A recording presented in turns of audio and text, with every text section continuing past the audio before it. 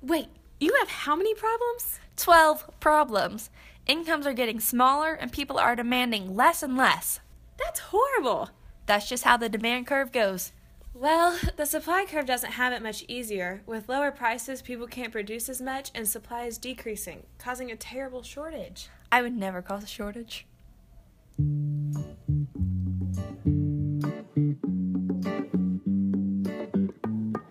Okay, can I just about econ? I love econ.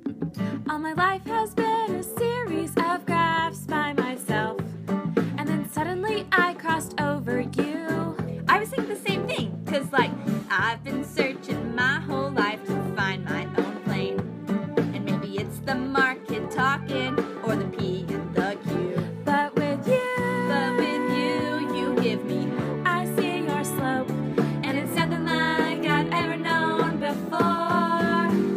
equilibrium. Love is that equilibrium.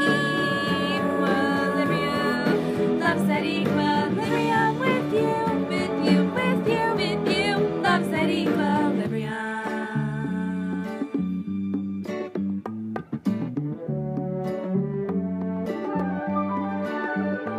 I mean, it's crazy. What? We're best at the Equilibrium. That's what I was gonna say. I've never met someone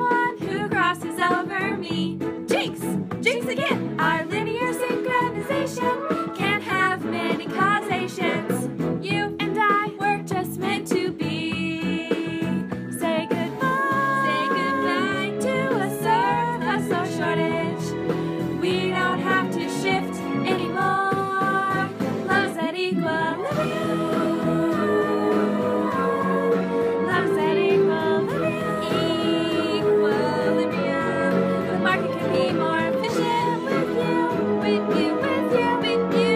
Love setting equilibrium Can I say something crazy?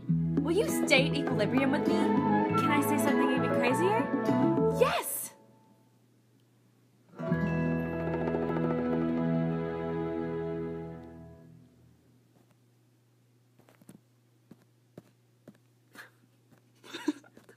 Cut it. Shut up. Kurt made me like.